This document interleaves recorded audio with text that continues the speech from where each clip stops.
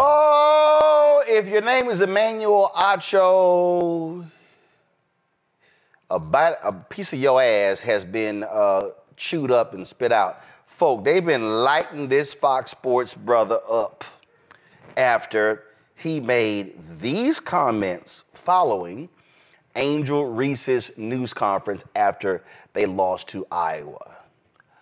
I'm sure y'all heard it. Press play. I'm about to give a gender neutral, racially indifferent take.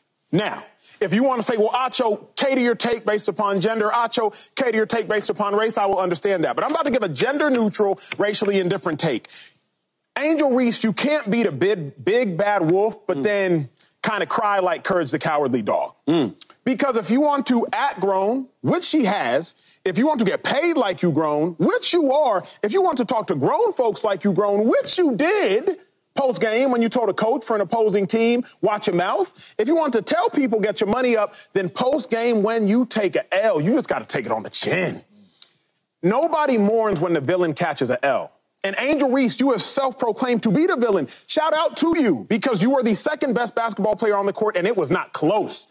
Outside of Caitlin Clark, it was you. 17 and 20. Dog. Showed up. Biggest game, second biggest game of your career. Absolute dog. But you can't, under any circumstance, go to the podium and now try to ask for individuals to give you sympathy. No one has sympathy for the villain. Mm-hmm. You painted the bullseye on your back. Why are you surprised when people shoot at you? So if you want to act grown, if you want to pose grown, if you want to talk grown, if you want to talk to grown folks grown, then you got to take the L like you grown. Because what frustrated me is when you want to be the villain, but you want to hope for sympathy like a hero. I'm about to give a gender neutral, racially and so um, that was the commentary. Now, keep in mind, y'all, keep in mind that at the news conference after they lost to Iowa, somebody, a reporter, asked Angel Reese a question about the last year since LSU won the national championship. This is what she was talking about. I don't really get to stand up for myself. I mean, I have great teammates. I have a great support system. I got my hometown. I got my family that stands up for me.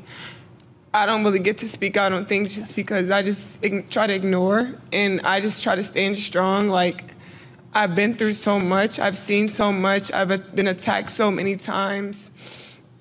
Death threats. I've been sexualized. I've been threatened. I've been so many things, and I've stood strong every single time. And I just try to stand strong for my teammates because I don't want them to see me down and like not be there for them. So I just want to always just know like I'm still a human. Like all this has happened since I won the national championship, and I said the other day I haven't had peace since then. And it sucks, and but I still wouldn't change. I wouldn't change anything, and I would still sit here and say like, I'm unapologetically me. I'm gonna always leave that mark and be who I am and stand on that. And hopefully the little girls that look up to me, and hopefully I give them some type of inspiration that, no, hopefully it's not this hard and all the things that come at you, but keep being who you are, keep waking up every day, keep mo- being motivated, staying who you are, staying 10 toes, don't back down, and just be confident. I don't really get to stand up. That was what she was talking about. Well, uh, in the past few few hours, let's just say uh, Acho got a earful, and um, this was today's video. I just want to say a quick thank you um, to everyone who has respectfully uh, reprimanded me and uh, offered brilliant opinions on the Angel Reese conversation. I do not believe there is any one way to think about things, but thank you to the Ryan Clarks, the Essence Atkinses, the Bozoma St. John's, um, the Trellas, the the different individuals who has publicly and privately, um, just giving me good wisdom, good feedback, uh, good good discernment. Um, I understand. I understand. I understand. I think life is all about understanding. And so I just want to applaud those publicly, you watching, and those privately who have respectfully, the operative word there being respectfully, who have respectfully reprimanded me. Matt Barnes, incredibly, incredibly, incredibly wise words. Um, so I thank all of you all for that. I do not stand on a hill saying that I am right and you are wrong. I simply stand on a place saying, hey, this is what I believe. What do you believe? Let's listen to one another and construct a collective belief. So, love to everybody who's respectfully reprimanded me, and I appreciate it so, so, so very much. Thank you all for that. All right. So, I just want to let y'all know something. Um, Roland is not a body language expert, but y'all can go ahead and show it. Let me explain something to you. Um, come on, show it when you're talking and you're rubbing your neck. yeah, y'all need y'all need to give me a two shot. Y'all need to put a two shot. See, when you talking like this here, and you uh, you come on in two box. See, when you when, when you when you doing this here, uh, and then you then you doing this here you like, I, I, I, um, I appreciate y'all calling me. I, I appreciate y'all getting in my ass privately. I appreciate y'all, you know, letting me know that my ignorant ass sounded like a damn fool. Um, I, I, I, I really.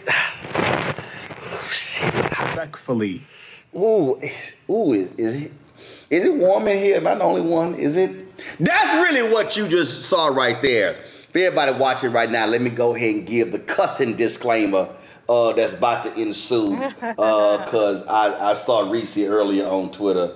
So, um, I'm, I'm, Lauren, I'm gonna go ahead and start with you. Let me go ahead and get, you know, cause you know, cause you also text me like, uh, are we go? Lauren was like, are we gonna deal with this tonight? well, I'll say this there's a lot to unpack a little bit here. I mean, I get what he was trying to say. I do get what he was trying to say. I do think I'm a big Angel Reese fan. I think she's fantastic, and it's great to see women's basketball like blow up in the ratings and everything else.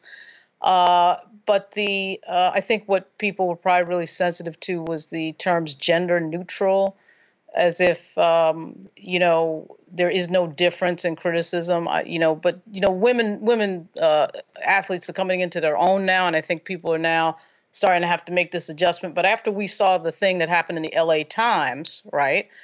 Uh, and then we hear Angel Reese tell us that she's been getting death threats for a year, which the first thing that I thought about was, wow, isn't that interesting that we can get a 40 minute, 10,000 word piece in the Washington Post about Kim Mulkey, but we can't get one piece in the Washington Post about Angel Reese getting death threats for a year. That to me is an extremely serious thing, you know, and it's kind of like taken as, oh, no big deal, whatever. And, you know, I think about that with a lot of folks that are in the news. Fannie Willis getting up on the stand telling everybody she's been getting death threats, and everybody acts like this is normal, uh, you know, business as usual. And it's not. It really isn't. And you do at some point have to attribute some of that to the gender of the people who are saying it. It's like nobody cares. Uh, but I do get some of his point because I do think that, you know, didn't the women's movement tell us that we were equal to men and we could do whatever we want? And then we get out there and do it and we get criticized. Some of us get sensitive to that. So it's like if we're equal, we, we got to be equal with the criticism. And frankly, the guys get criticized a lot. You know, Cam Newton, I can remember, Deion Sanders, you know, people who are black, who are very assertive out there, uh, eh, particularly with sports. I think both men and women get criticized. I think it was just last week we saw a soccer player that plays for Brazil break down in tears because of the racism that he was dealing with. Right. And nobody talked about that. You but, didn't but, get the big outrage. You didn't but get here, the big thing that you get. But here's where I, but here's where Acho screwed up no, no, okay. seriously. Where uh-huh. he's where he screwed up was is that he didn't understand context. What he did was he asserted that Angel Reese was crying because they lost. That's not what happened. She was literally asked a question. Also, let's factor this in. She announced a couple days later she was declaring for the WNBA. Um, I can tell you, I remember having a conversation with someone on the bus coming back from our award ceremony in 1991 at the National Association of Black Journalists. And it was my last night as a national student representative. And I remember shedding tears. And I remember this sister was like, Why are you emotional? Because what I did for two years and how much I invested and what it meant uh, to me personally. So he screwed up by getting the context wrong. Well, he Acho should have shut his mouth though the minute that he heard that she was getting death threats for a year.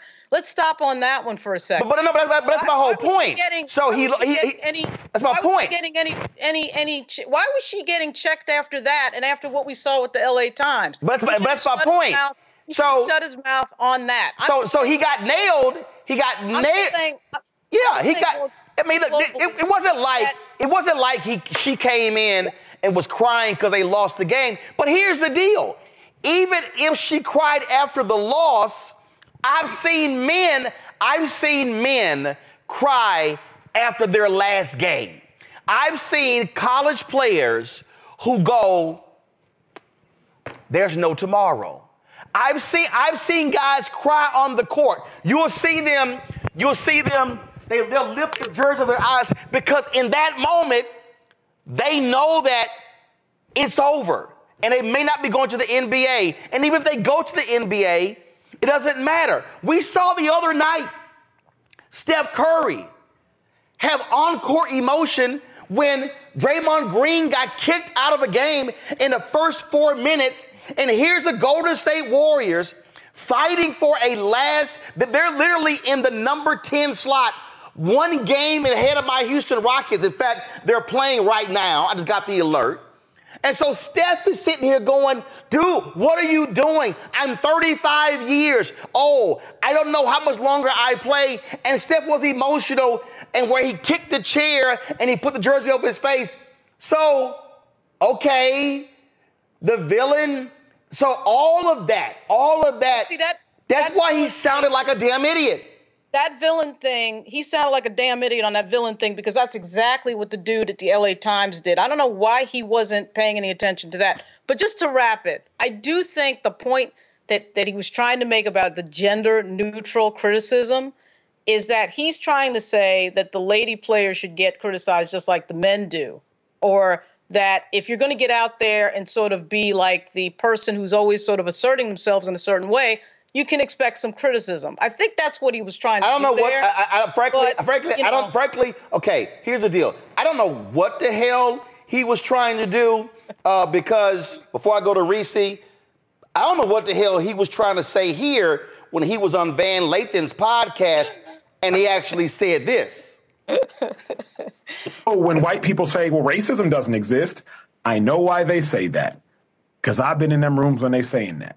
Mm-hmm. When I kick it with black people and they're like, all white people are racist. Hmm, I know why you're saying that. All the while, I have the privilege and luxury of not having generational trauma because my parents were born in Nigeria. So, man, my method oh, is removing some of the sting um, because I don't have that sting and trying to deliver a message in a manner that people can receive it. Okay. Let me tell you why what you just said offends me. Okay. All right. You saying that you don't have generational trauma and you didn't mean it this way, but the reason, and, and it's, I have to name it, you saying that you don't have any generational trauma in some way meaning, or that in some way meaning that your delivery method to white people is going to be either more effective or more sanitized is to me dangerous. And let me tell you why. Everybody that you just named and what you're talking about does what they do in different ways. I don't think that any of the things that they do are necessarily harmful. But what I could say is a black man, a prominent one, acting as an emotional butler for white people and serving them the most milk toast, unspicy, unseasoned brand of racial discourse and accountability possible could definitely be harmful. Like we're fighting for our lives. And to me, having a conversation like that at that particular time, it's not that it's a different method. Everybody has a different method.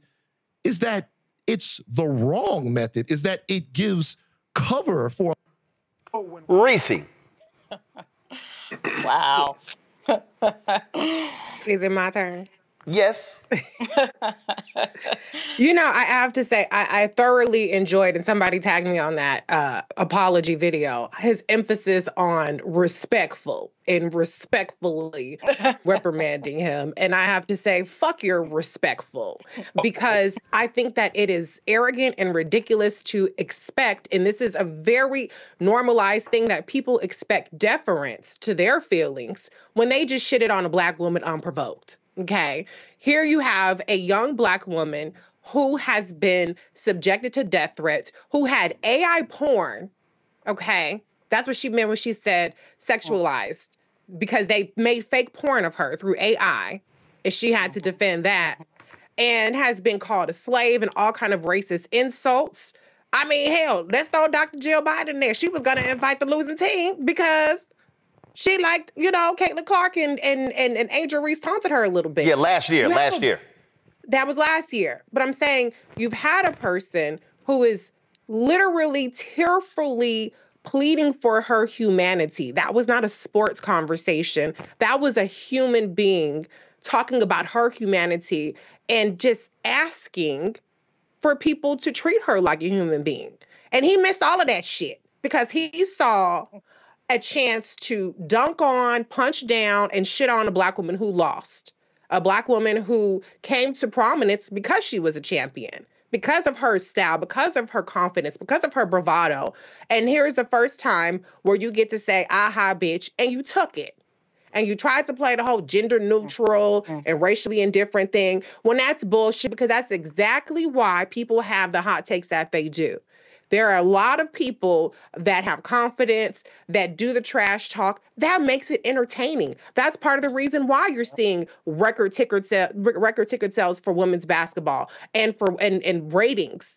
And that's part of the reason why you have, for the first time this year, women's basketball being able to even use March Madness branding. So it's bullshit to try to sit up there and disregard that and to attach words. I understand it's a cartoon character like Courage the Cowardly Dog because she showed emotion. Well, which one is it? You don't want her to be the biggest, baddest bitch who is, you know, who's leaning into, and mind you, as a defense mechanism, leaning into the villain role because they're going to paint her with that no matter what. Anytime a black woman opens up her mouth, she's a villain, mm. period. So, okay, maybe she leaned into it. She made someone off, but good for her. I ain't mad at that. But that has nothing to do on court with what she was talking about in that interview. You don't hear Angel Reese out there, you know, having failing drug tests, fucking with people or anything like that. She has respect from her peers. Caitlin Clark, the darling of, of, of white America basketball, has expressed respect for her. So how did he miss all of that shit? How did he miss the moment? How did he miss the message? It's because it was a black woman who had the audacity to be confident, who had the audacity to to affirm her own confidence and encourage other girls, not even specifically black girls, but other girls who look up to her to maintain their steadfastness in being confident. And so I applaud her. That's not cowardly. That's actually courageous. And you can be a champion and you win some and you lose some. But at the end of the day, we need to move forward with humanity. So I was one of those people that disrespectfully reprimanded him. And I will rhetorically stomp a hole in your ass every time people feel comfortable coming for and shitting on black women for doing nothing more than having the audacity to be unapologetically confident and excellent, period. I have a feeling where Greg is going to go, but I'm going to hold this. No, you, you should say it. You Uh, should say no, no, no, no, no, no, no. I, I, I, I, I got something queued up, but I have a Oh. feeling Greg is going to go there instead. But Greg, go right ahead. I don't know. I mean, look, everybody. This is why we have to have the Black Star Network. We can't have this conversation in white spaces. Uh, brother uh, Samuel Acho, Igbo brother, ask your mama and daddy about generational trauma. There's a little thing called the Biafran War in Nigeria. Ask your people, the Igbo people, because clearly you didn't learn it at home, and you damn sure didn't learn it at University of Texas, Austin. That's probably why DEI is important. You should have took a Black Studies class there or an African Studies class. You know, Toyin Falola is the University of, uh, uh, of Texas, Austin. He's Igbo, man. Uh, maybe you should ask your people about generational conflict when it comes to difference, because sometimes it can be black on black. Don't don't get me started on that. So we can mm. kind of put him to the side. But the reason, you know, the man he rubbing his neck and stuff, he don't want to lose his job because everybody's come for him, and I think that this is the issue. This is the issue. Now I've been a fan of the women's game since you know my girlfriend was a forward at Tennessee State for the Tiger Gems, which is part of the problem. You know, HBCU women's teams used to have their own identities. They weren't lady anything. Now these Negroes have forgotten their history. Now they're the lady Tiger is the lady whatever. No, no. Tigerbelles, Tiger Gems, Tiger Sharks, Sharks, and that speaks to the point. I've never been a fan of slave master politics and slave and, and uh, plantation athletics. You know, I'm from Tennessee. I was in New Orleans over the weekend for the National Association of Black Social Workers, and they love those black. They love Flau'jae. They love Angel Reese till they lose. And at that point, the N word throws free, freely, like the Mississippi. the point is this: uh, you know, a old girl, the coach Kim Mulkey, she dodged a bullet. she dodged a bullet. The LA Times did her a favor because I read that full like like y'all did, the full article in the Washington Post. And you know, nobody who you know uh. Du Bois and Black Reconstruction would have called her probably the poor white, you know, the striver. But I'm, I, you know, I lived in Philly for 17 years, so I remember when John Chaney threatened to kick John Calipari's ass when he was coaching at UMass, and that's when uh, Marcus Camby and boys was up there, and John Chaney whose boys were always in class, who practiced at 6 a.m. so they could never have an excuse for missing class. You know, that Dawn Staley mentality, Dawn Staley coming out of Dobbins High School in North Philly, you know, I'm not sure that any of Dawn Staley's uh, girls would be uh, in, in Sports Illustrated swimsuit. But again, this I'm, I'm having a, a, a, serious conversation here. I'm, going, I'm coming to this point. This isn't a critique of Angel Reese. I'm looking at the coaches I'm looking at the mentality. I'm looking at the uses and abuses of black people. I'm looking at the race war that is athletics. Because see, I'm a fan of the women's game. I'm sure we all remember Don Imus' ancient dead ass when he called Vivian Stringer's young ladies the nappy-headed hoes on the Rutgers team. This was the race war between Rutgers, between uh, Pat Summitt and them at UT, and, and you know, uh, if you read the Washington Post article, you know Kim Mulkey worships Pat Summitt, but then so does Dawn Staley in many ways. But remember when the black women on the, the University of Tennessee team and especially Rutgers team was going up against the slave master in Storrs. That would be Geno, who always seems to find a couple of white girls to surround the sisters with. I'm sure for every uh, Maya Moore, you got a Paige Bueckers, you got a Rebecca Lobo. In other words, you know, women's sports no different than men's sports in terms of race war. And what I'm saying is that anytime I see a person like Kim Mulkey, got all these sisters down there in the bayou in a racist as hell Louisiana State, Baton Rouge, and then you basically don't care what they do as long as they help you win a championship. Shout out, of course, to Kim Mulkey, who ain't say a damn thing when the sister who got her a national championship was locked up in Russia Brittney because Griner. she MAGA as hell. They mad her about the national anthem. Trust. That's a woman who would have the. Da- I don't even want to see where she might have the tattoo play because I don't need to see anything on Kim Mulkey's body. But I'm saying she did not take those players off because of the national anthem. She MAGA as it gets in many ways. The point I'm trying to make is when you get to this, Samuel Acho is is look, man, you're not even a sideshow in this. You're not even a sideshow in this. What you have is young people. And you know, I got all the world room in the world for young people. But you got young people in a space where these coaches in a plantation system, if they're not black women coaching them, and I'm very serious about this, they will engender this sense of anything goes that will have a sister from West Baltimore trash talking the white girl because that's what she would do. And we all love it until it goes sideways. Were those tears because of the abuse? Absolutely. And you're right. She should look, the minute you hear death threat, all bets are off. At the same time, of course, you are crying in part because you lost, because there's all this emotion there, because you want to beat these white girls and you want to keep going. But you know what? When the national championship is played, the only thing that I see flawed about Dawn Staley in South Carolina is that I wish there was one more word added to her title. Head coach, South Carolina State. I swear, I wish these black players would go play for black coaches at HBCUs because once you go to these white schools and you up on these plantation system people, it becomes race war and it's not gender. It's Chamique Holdsclaw at UT and Candace Parker and them. It's remember UNLV under Tarkanian. Remember the U University of Miami football team. In other words, it's always proxy waste war, and they love their Negroes until they lose. Samuel Acho, brother, you wandered out in the middle of a race war and caught a stray, and you need a little bit more history before you start saying you don't identify with generational trauma. Because son, you what you don't know is a lot. So I knew Greg was going to go there a few months ago. Oh, okay, you did No, no, no, no I, I knew that because a few months ago, um, I actually came across this on Instagram. And you know what? Maybe Emmanuel Acho needs to watch this. the origin of Nigeria that shocked the hell out of me. Nigeria was never meant to be a country. It was something else entirely. In this video, I'm going to tell you what I discovered. Oh, and I want to acknowledge Burna Boy for bringing my attention to this in his song Another Story on his album African Giants. Thank you for inspiring this video and all of you let Burna Boy know that he got to me and now I'm sharing this information with you. The creation of Nigeria was never about democracy, never about Christianity. It was about money, business and profit. None of it for us. Pay attention. The area now known as Nigeria was called the Slave Coast up to 1870. This was the point at which the British had stopped slave trading and moved on to palm oil as their primary commodity out of Nigeria. One of the main suppliers of palm oil was the Benin Kingdom, and you have to watch my video on one of the greatest African kings most of you have never heard of, Oba. This is an important story for me personally because I'm from that region, so they are my people, and his fight with the British Empire over palm oil is one of the greatest stories of African colonial history. Anyway, everyone wanted palm oil, and especially the British.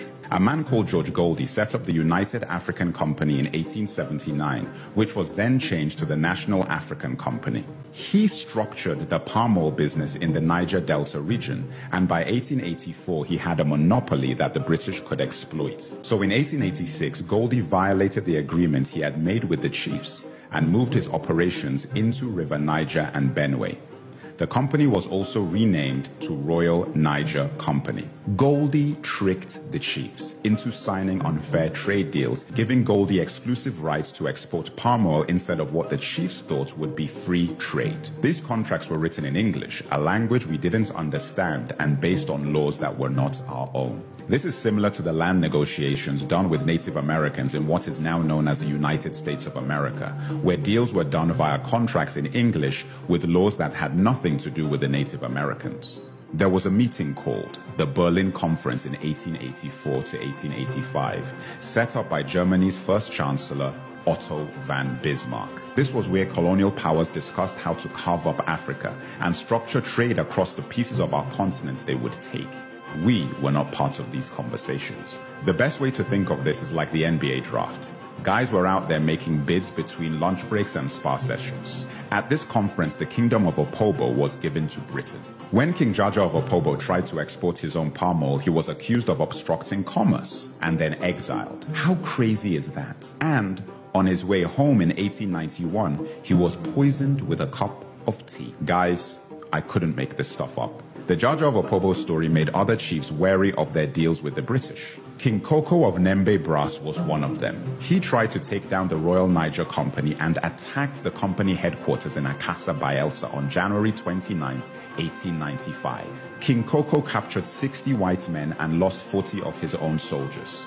He used the 60 hostages to demand he be allowed free trade, the agreement he believed he had with the British company. They refused and he killed 40 of his hostages. The British Royal Navy retaliated by leveling the city of Brass completely on February 20th, 1895. King Koko went into exile and the British not only took control of the palm oil he once had, but also fined the people of his kingdom 500 pounds, as well as confiscating their weapons. Tragically, King Koko committed suicide in exile in 1898 after being branded an outlaw by the British company that had taken his kingdom, palm oil, and reputation. The Royal Niger Company sold its territory to the British government for 865,000 pounds in the late 1800s. This territory was known as Nigeria. In 1914, the Southern Protectorate and Northern Protectorate was combined by Lord Lugard, and like that, the Royal Niger Company was rebranded as a country which would gain independence on October 1st, 1960. And Lugard is a street in Nigeria that still exists today. The Royal Niger Company changed its name to the Niger Company Limited, and it was then acquired by Unilever. Unilever still operates in Nigeria to this day. And that, my brothers and sisters, is how Nigeria came to be. We have a long way to go to fix the country, but we won't ever have a hope and a solution to our problems if we don't know how they started. What I told you in this video is just a small part of the foundations that led to unrest, civil war, economic instability, and so forth. Remember, it's not about asking anyone else to fix this or even wasting time blaming those we know caused and perpetuated it. This is about knowing our history. Nigeria was never a country we created. It was a company designed by colonizers for profit, and a lot of the infrastructure put in place for that siphoning of resources out of our land is still very much in place today. Crude oil simply replaced palm oil, and soon lithium may replace crude oil. Honestly, I feel angry not just for what happened to my ancestors, but for the fact that I wasn't taught about this in school in Nigeria, and that our children are not being taught about these things now. Every Nigerian should know everything about who we are and what we are up against. Subscribe for commentary on Africa, history, current affairs, politics, and the diaspora. See, this right here, Emmanuel Acho, is why what you said was beyond stupid. For you to sit here and say that, oh, unlike you African Americans, unlike you black Americans, those of you of people of Africa, people who had uh, relatives who were enslaved of African descent, oh, I, I don't possess that generational trauma. So therefore, I can come here and I can talk to white people and I can talk to black people. No, your Nigerian ass has trauma. No question. Just like every other African who hails from the continent where they were colonized. You literally represent a part of Africa where the country never even existed. That's right. But then you sit here and sit your ass on Fox Sports. They used to employ Jason Whitlock, and it's no surprise that Jason is on Twitter and he is sitting here uh, saying, Oh, Emmanuel's correct and the rest of you are wrong. But see, this is the problem when you try to be one of the good ones. see, this Right. is the problem, Emmanuel, when you think that you somehow are set apart from the rest of us. When the fact of the hmm. matter is, you got lots of trauma coming out of the continent, and in fact, your trauma still persists. When you've got kidnappings of girls in Nigeria, when you've got the United States, the reason we pay so much attention to Nigeria is because of your oil. But let's talk about the economics of the people in Nigeria. Look, I hope to visit one day. I'm told it's a beautiful country. I'm told that you have uh, exhibitions of significant wealth of those Africans who have money, those Nigerians there. But please, Emmanuel, don't you dare. And I was trying not to, but no, I'm, I'm not gonna go ahead and cuss. I'm gonna go ahead and keep it. I'm just gonna, because I was about to cuss. But don't you dare release a video and talk about how I don't have the emotional trauma and how I can listen to white people and in the rooms what they say, and that I can go listen to black people and what they say. Well, hell, Emmanuel, I've been in rooms where white folks said racism didn't exist. Hell, just the other day, some white woman uh, on Twitter uh, evoked Morgan Freeman when she said racism will stop if we just stop talking about it. Really? Tell, tell that to the black man who's on trial with a DUI tomorrow with a white woman uh, who poured the liquor out and then said she smelled marijuana. Tell that to the people who have been killed, which we talked about with Samuel Sinyangwe, uh, people who have been killed by cops. Tell that to the little black girl who was trying to sell some lemonade on the side, and the white woman said, I'm gonna call the cops on her because she was selling some lemonade. Tell that, please, to the brothers who tried to deliver FedEx and UPS packages just because the, uh, they were black, but the white folks got to call the cops on them because something was wrong. Tell that to the black man who had shots fired at him in Mississippi trying to deliver a package. Please, by all means, tell that to Walter Scott, who was shot and killed mm. by a cop while he was running away. Tell that to please Kadarius, the brother who was run over by a cop in Mississippi. Please tell that to the police departments right now that are being looked at by the Department of Justice for the vicious beating of black people. Come on, bruh. No. What you tried to do is let me just take out race and let me just take out gender well, that's the last thing you can actually do in a country where the original sin is race and where it was meant for women never to vote, never to own land, and their only job was to lay down and birth babies and cook in the mm. kitchen barefoot. And that's mm. who they hire. See, when that's you when you decide, Emmanuel, when you decide to sit here and say, oh, oh no, you're the villain. Really? That's not the villain. That's called somebody saying, I'm leading my team to victory. That's called somebody saying, I'm going to give it as good as I get it. Because, see, what's interesting is if I put Angel Reese side by side with Caitlin Clark, Caitlin, Caitlin Clark talked mad shit. You know what? I'm not bothered by that. Because do you know who was one of, one of the biggest trash talkers in NBA history? That white boy Larry Bird. And Larry Bird back his shit up. You know you bad when you walk out to the NBA three-point contest with your shooting jacket on and you won't even take it off and you win the contest. Matter of fact, Larry Bird was so bad when they when the coach put a black player on him, he said, This is some disrespectful shit. No, I'm sorry, when we put a white player, he said he, he told the coach, This is disrespectful as hell. You putting a white boy. A white boy can't guard me. Yeah. That was Larry Bird. Michael Jordan talked a lot of trash too. But see, I'm saying all of that because Caitlin talked trash. Caitlin was cussing on the court during the tournament. Her dad told her, shut the hell up and play. But you want to assign villain to the black girl. Just yeah, like the white writers assign thugs to South Carolina. Just exactly. like the LA Times writer did the exact same thing. Because exactly. the reality is, folk white sports writers, and let's be honest, if you want to be honest, Emmanuel, you saw the LSU Iowa contest the same way folks saw Duke versus UNLV.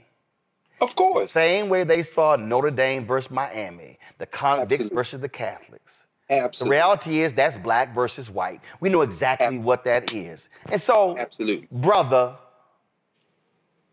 brother, why don't you actually spend a little more time with brothers and sisters? Because the reality is, if your ass can't even understand the generational trauma that exists in your homeland, you damn sure have mm. no clue, no concept of the reality that exists in sports in the mm. United States of their America. Mm. So I know you feel so blessed with the respectful, private phone calls you got. I ain't got your number. I ain't never met you. But here's what I do know. You went to that little school in Austin. At A&M, we call it small U, small T. You a University of Texas graduate. I'm a Texas A&M graduate. But I'm going to end with this. You had so much to say about Angel Reese, but you ain't had a damn thing to say about the 60 people fired at the University of Texas uh, when it came to DEI. Uh, so why don't you, Emmanuel Acho, have the courage of Emmitt Smith, who stood up and spoke out against what happened at Florida? And called it like he saw it. Or maybe, just maybe, you're just gonna stay quiet because you, Emmanuel Acho, you don't have that pain and you don't have that experience because you are so blessed to be able to sit among the whites and listen to them talk without them noticing your skin. They do because they notice your parents' skin and your grandparents and the other folk in the tribe where you came from and your homeland. Bruh, you are not one of them. And they will remind your ass of that. Trust me. Go ask Candace Owens, who got her Negro wake up call.